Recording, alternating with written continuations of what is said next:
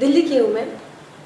I am from Delhi और शायद वो जो बेसिक दिल्ली बना मुझमें है वो मेरे बहुत काम आया because lingo just I think it was there somewhere. I joined uh, this group called Antara. Uh, that was very interesting. That went on for around uh, six months. I used to go and rehearse with them. And I, uh, while I was doing, I mean, then I went to college and I also joined my uh, dramatics uh, society. There was also this um, group called Sahmat, which I told you is run by Shabnam Hashmi. So I joined that and I did street plays with them as well. It was actually the best phase, you know. It, it, uh, it really made me uh, enjoy my time in college. It really opened me in a lot of ways.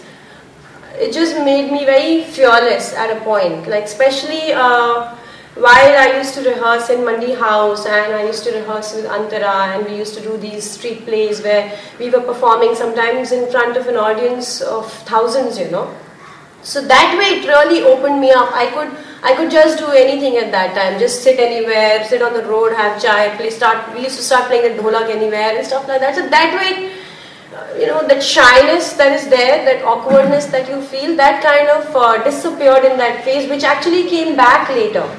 You know, once I stopped doing it, it slowly started creeping in again. This play because I wanted to get back to theatre. That is actually the first reason why I wanted to wanted to do theatre. I wanted to get back to theatre Then I was uh, looking for an opportunity.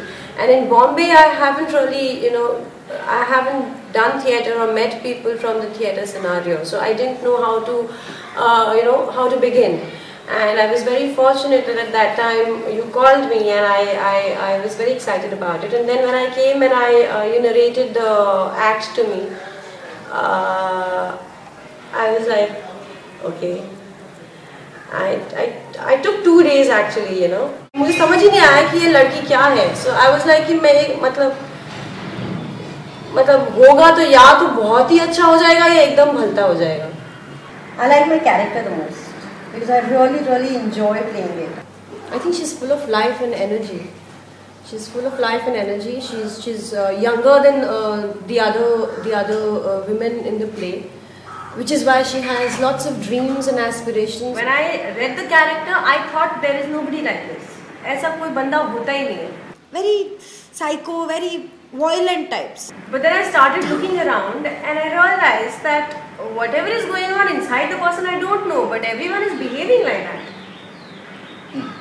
You know, everyone says the same lingo and they're cracking the same stupid jokes just to feel important, they are, you know, seeking attention. तो कर तो सब वही रहे जैसा ये character कर रही है आपको नहीं पता सर जी मैरिड मैन ना बड़े हॉर्नी होते सॉरी हॉर्नी यार हॉर्नी होते married man Let's take it this way.